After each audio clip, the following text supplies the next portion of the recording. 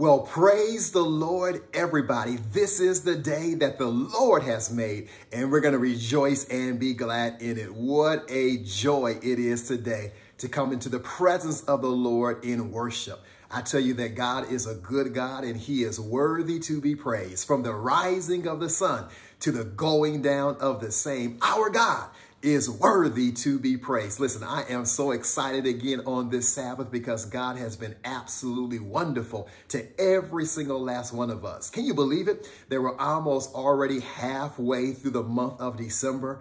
It seems as it was just yesterday that we were celebrating Thanksgiving. Now we're all the way uh, into the month of December. But we give God praise because he has been faithful to us. He has kept us. He's been watching over us. He's been leading us every single step of the way. So we give God praise today on this holy Sabbath day. Listen, I don't know how your week was gone uh, for some of you all, but I pray that you are trusting in the Lord. I pray that the grace of God has been keeping you. And I pray that the joy of the Lord is still your strength. Listen, we have a wonderful worship service in store today. I believe the spirit of the living God is already here. And I know that God's going to bless us in some very marked ways. Let me say this today. I want to welcome today to the pulpit. I want to welcome uh, my friend, our executive secretary, Elder Garth Gabriel, as he preaches the word of God today. What a marvelous uh, preacher and man of God that he is. I'm excited for him to share with us on this particular Sabbath.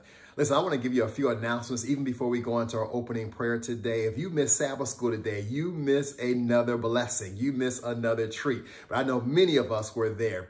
Our Sabbath school is just, God is blessing in tremendous ways. And we're thankful for the, the study of the Word of God. Please share that on your platform. Share it on your social media. We want everybody to know the goodness of the Lord Jesus Christ. As well as, of course, on Wednesday nights, our prayer meeting. On Friday night, our Vespers. And yes, we announced last night that we're going to have another mini concert. That's right, another mini concert uh, for our Vespers on Friday night at 7 p.m. So the Lord has placed a song in your heart, or even maybe it's a poem, a poem that you want to share as well.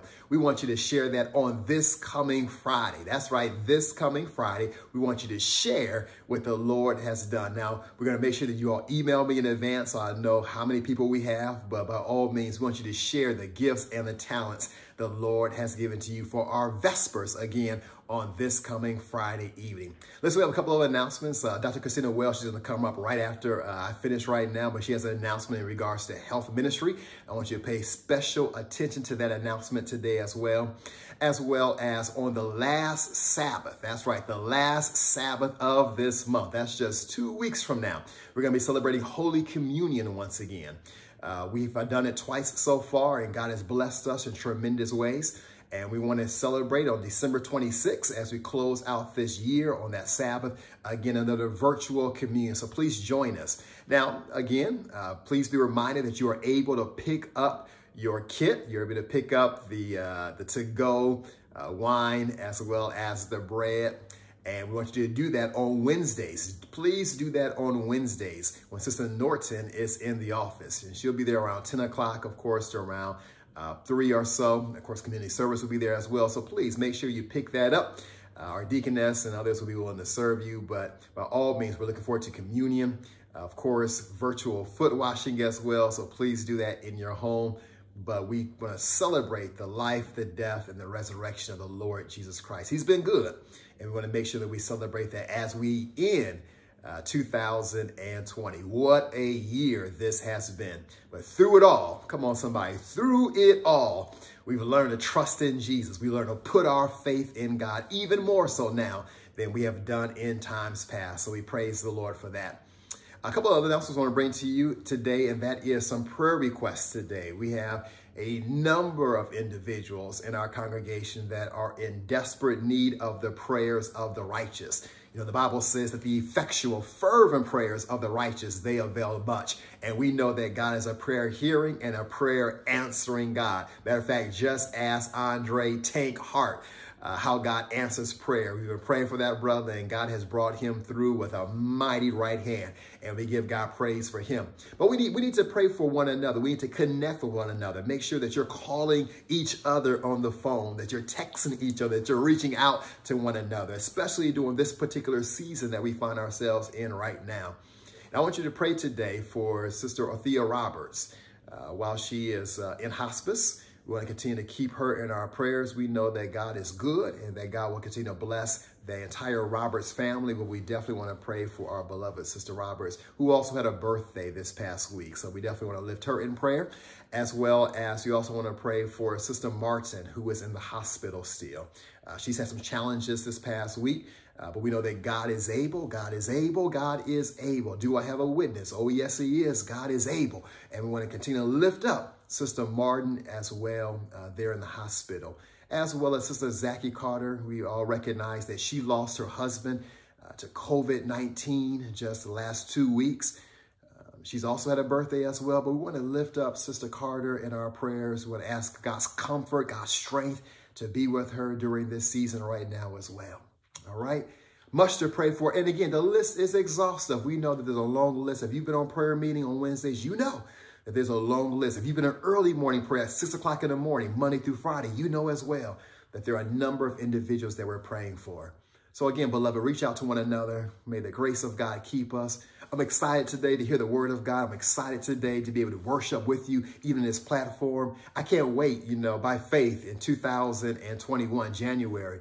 We have some very exciting things that we are planning for you right now. And I know you're going to be blessed in a tremendous way. So trust me Uh, as we go forward into the new year that God's going to take us from faith to faith and from height to height and from glory to glory. We're going to see some great things as well. Oh, by the way, baptism as well, not only on uh, January 26th are we planning for communion, but we're looking for an afternoon baptism service as well. Uh, there are some individuals who are already ready right now. We want this year to pass. We don't want this year to pass without you committing yourself to the Lord Jesus Christ. So if you know that you need to be baptized, matter of fact, somebody texted me already a couple days ago and said, Pastor, I want to be in that number. If you know that you need to make your calling and your election sure, if you know that God's been pressing your heart, uh, during this pandemic to go that next step in faith, make sure you contact us. Make sure you call us, reach out to us, and we'll make sure that we connect you so you can go in the watery grave of baptism and experience new life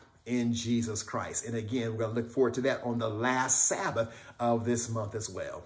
All right. I will give you a number of announcements. God bless you today. Let me pray for you as we enjoy our worship service today. Let's pray. Eternal Father in heaven, Lord, we are so grateful and so thankful that you have given us another Sabbath day to worship your holy name. God, truly, this is the day that you have made, and we are rejoicing today in it. Through all of the difficulty, through all the trials, God, we declare that you are still a good and gracious God. Oh, Father, please bless us today. Will you please fill us with your Holy Spirit? Oh, God, please maneuver and challenge us, God, to be more like Jesus Christ. And we thank you, oh God, for doing it because we've asked it in Jesus' name. Amen and amen. God bless you. I'm going to turn it right now to uh, our, our, our, our, welcome. God bless you again. Welcome today. And I'm going to kick it over to Sister Christina Wells, Dr. Wells, as she gives us some permanent health information as we go forward in faith. God bless you. And again, welcome, Pastor Garth Gabriel. May God use you to share his word today. God bless.